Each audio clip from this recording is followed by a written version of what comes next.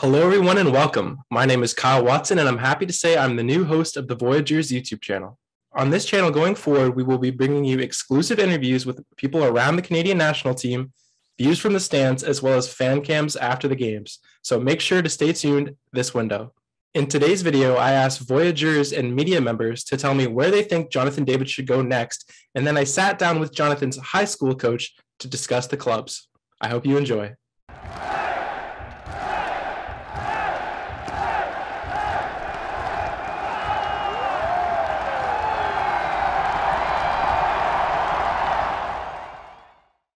Right, so I'm so pleased to be joined by Joé Fournier, uh, Academy coach at Louis Riel Academy, former coach of Jonathan David. How are you doing today? Doing well. How are you? Excited, excited for the this window. So yeah, how are you? I'm very well, and and and me too. I think uh, I think we're gonna find our way to Qatar, and uh, I think it's we're gonna go out with a bang here because there's no more uh, World Cup qualifying games. I think in Canada until like 2028. So I think everyone's gonna have a lot of fun yeah so so i guess first off do you do you have a team that you'd prefer him to go to or are you just kind of excited no matter where he goes? Uh barca. I would love to see him at barca. I know that johnny would love to go at barca but i mean there are other factors for sure. Yeah they've been looking really good. Uh, the 4-0 win in the classico was crazy. And it was uh, a great weekend. It was a great weekend. To see him under Xavi would be incredible too. Yeah yeah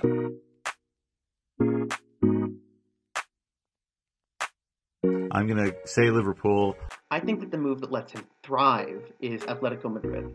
Where I think Jonathan David should go this summer is Arsenal. So I think Jonathan David's next club should be Borussia Dortmund for two reasons. First of all, young players like him need to play. They need to play a lot. We know Borussia Dortmund um, has a tendency to play young players and give them as many minutes as they need to develop and then eventually sell them on to much bigger clubs. So I think he'd get an opportunity to get a lot of reps and really develop at Dortmund. And of course, who wouldn't want to see Jonathan David and Alfonso Davies face off twice a year in the Bundesliga, one of the great leagues in the world? Good point. I think uh, I think I totally agree. I think Dortmund would be a good move um, as a Haaland replacement. I think he's going to move on this summer, and uh, I think Josh has a great point there that there's few clubs in the world that produce superstars like Dortmund, and uh, I also think Dortmund has a tendency to sell their players to Bayern, and I wouldn't mind uh, seeing our Canadian boys link up together. Yeah, yeah, I think uh, what what's the most important for me or for Johnny, I mean for him especially, would be to get some playing time, right? Like if we look at some players, some Canadian players that have moved on to bigger clubs and now not getting the minutes that we would want them to get to get to, to be ready for the World Cup like you know thinking about Eustáquio or even Richie Laryea. It's unfortunate because these guys are important for us to, to qualify and to perform well at the World Cup. So I wouldn't want something similar to happen to Jonathan. So if you want to talk about playing time, I think Dortmund would be perfect. I don't think they do have Donyell Malen and, and Youssouf Moukoko uh, as forwards, but I, I think they will go for an out and out striker this summer. So I think they could be very much in play for David. Hi there, my name is Naja Gabektion. I, uh, I'm from Dundas, Ontario and I've been a Voyageur member now for three months. I joined right after the game I went to in Hamilton. I had such a great experience. Where I think Jonathan David should go this summer is Arsenal. Obviously, they're a team on the rise, so much young talent, and I think for him, it'd be great to link up with Gabriel Martinelli, Bukayo Saka, Emile Smith Rowe, Martin Odegaard. I think Arsenal's a team that has a lot of potential for the future, and I think if they have that final piece, that striker, a clinical striker like Jonathan David, I think that can take them to the absolute next level. So that's why I think Jonathan David should go to Arsenal this summer again, again, for me, not a bad decision. I think uh, Arsenal is a good place for for young players as well. Like they like to give young players a a chance, and that goes back like many years. You know, even with uh, Wenger. What do you think about the prospect of uh, of him playing in the Premier League?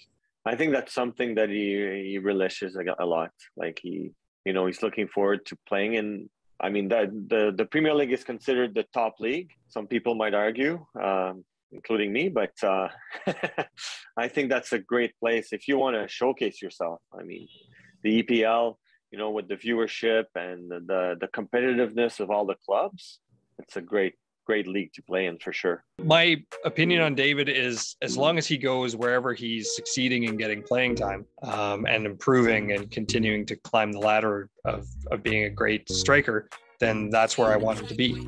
But if I could have that happen at a particular club, I would want it to happen at Liverpool. Maybe he ends up becoming a replacement for Bobby Firmino. That would be wonderful. So that, that so that was a very uh, personal opinion in the sense that he's hoping that he gets Johnny David for his club. because I'm not sure. I'm not sure. I would see him more in the style of Arsenal than Liverpool. But I mean, again, that's my opinion. So because I think I think Liverpool is a harsher environment to integrate. Not saying that Jonathan couldn't do it, but I think I don't. Oh, these are tough questions, man. Well, that's you know? why we would write you on. Yeah, I know, to answer I know, the tough questions. But the, the the arguments that everyone has brought up, for me, all of those arguments point to Barcelona. You think? Yes.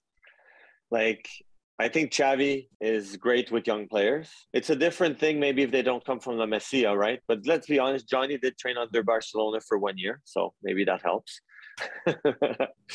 and I mean, Xavi seems to be very patient, kind of in the same. Uh, uh, to put uh, to continue on my previous comment, I guess he's he seems to be patient. I find him to be similar in a way uh, to Pep when Pep was at Barca, um, and that's what Pep did, right? Trust the process, give confidence to the players.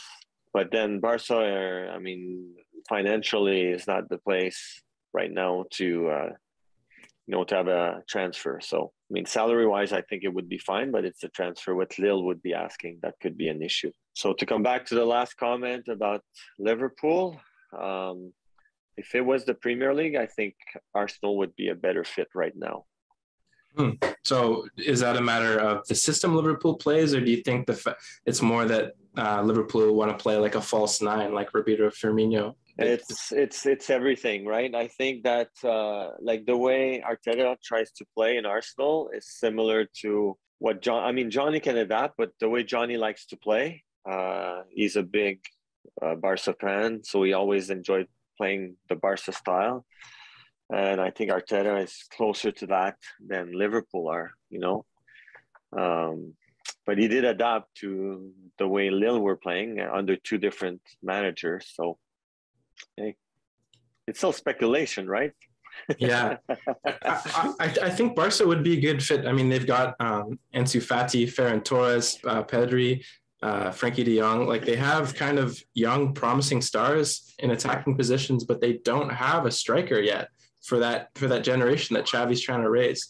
And I think exactly. Xavi, although he, does have a lot of Pep Guardiola in his managerial style, I think he's trying something a bit different. Uh, I, I, think a bit less possession and a bit more uh, directness in, in the way he plays. And I, I, think Jonathan David feeding guys like Ferran Torres, um, uh, as well as Ansu Fati, would be incredible mm-hmm. because they're kind of able to play on the wing, but also push into kind of forward positions, which David likes to do and link up with guys like Larin and yeah. Buchanan. So yeah, yeah, no, no one said Barcelona, but I, I think that is a good fit, and I, I kind of had a hint that you're going to say that based off our last conversation.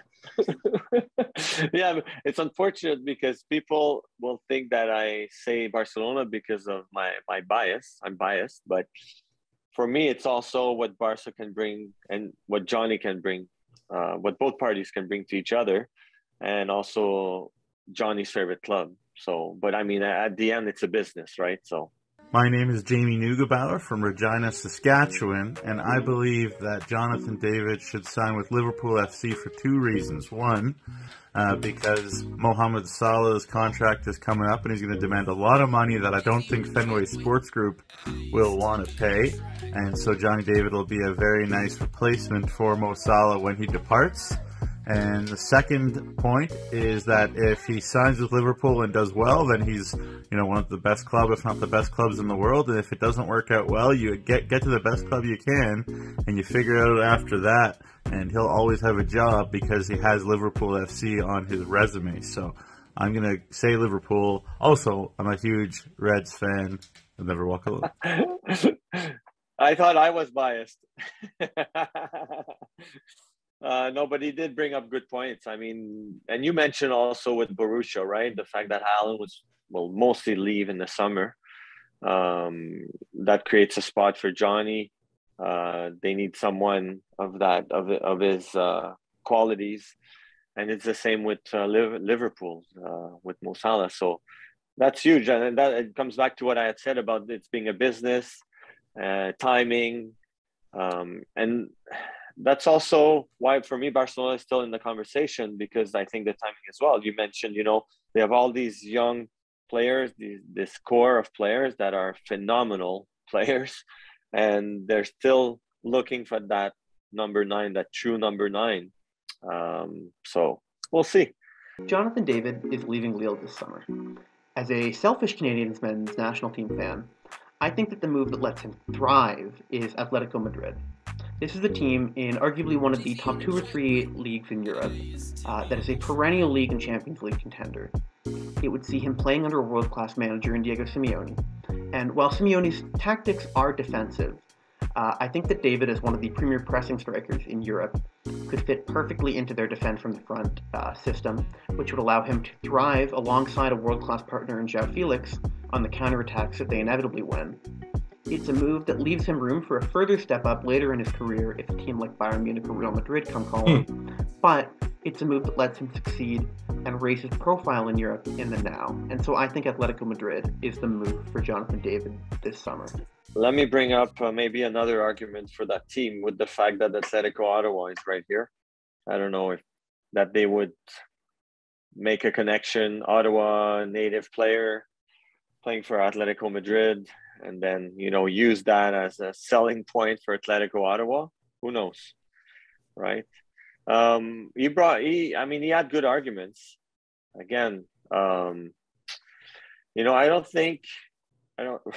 Again, it's just speculations, but there are no really wrong answers unless you you're telling me that he's going to go to uh, uh, stay in League One or go to someone, you know, a team that doesn't compete. I think he's going to look first of all for a team that competes in the Champions League because he's he's experienced it this year, and that's that's what uh, most players at his level are looking for. And then he's going to look for a team that will fit, just like when he went to Lille, right? He had said that he uh, the the um, the project spoke to him, and unfortunately, the people in charge have, have left since, but he said that the that the project has uh, was was speaking to him and that he believed in what they were trying to do, and he knew that it was a stepping stone, obviously, uh, because that's that's what Lille does, right? They're a selling club.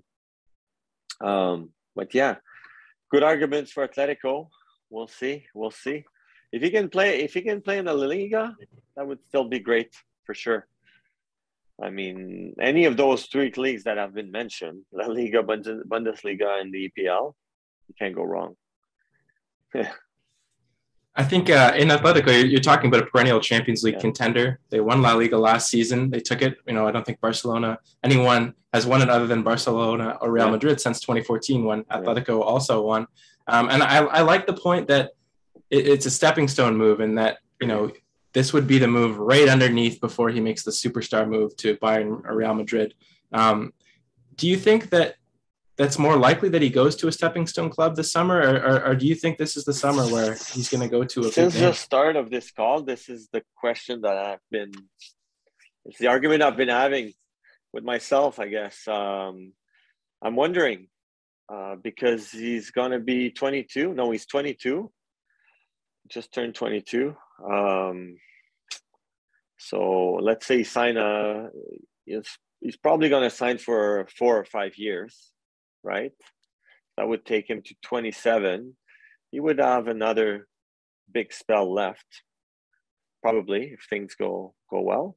So maybe he's looking for another stepping stone, you know, to experience something like I mentioned, the Champions League. Like he he, he won the he won two championships from both leagues that he was in already. So maybe he wants to compete for championship, but also get Champions League ex- experience where he can compete. Like with Lille, you know they overperformed. Uh, they did very well. Came out of uh, of the preliminaries. But then if he was to go to Atletico or well any of the clubs we, we mentioned, they're usually they usually do very well in Champions League. Like even by um not Bayern, sorry Dortmund. Yeah, we'll see. You're at, you know I I I guess I'm not I can't commit. I can't give you a straight answer because I I don't have a crystal ball or you know didn't talk to Johnny about it. uh, let me ask you this: uh, Is there any team you're kind of hoping he doesn't go to? Any team that you're not really a fan of? Like for me, uh, I can admit that he would be fan. I think he, you know he would do well at Liverpool. You talked about maybe there's a tactical mismatch there, but I think Klopp gets the best out of his players, so I think he would definitely experience a lot of growth there. But as a Man City fan, I couldn't watch it. I I, I can't I can't even comprehend the fact that I would be kind of cheering for Liverpool as a Jonathan David fan. So my friends would tease me so much if he was to go to Real Madrid. Like my students would lose it if he was to go to Real Madrid because they would make fun of me so much, especially after this weekend where where I took time to make fun of them, all the the Madrid fans. Um, PSG would be the same if he was to go there. People would just, I would get a lot of texts. Let's just say.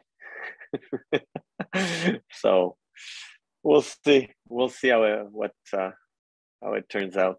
All right. Well, thank you so much for coming on. It's always a pleasure to talk to you. My pleasure. Thanks for having me.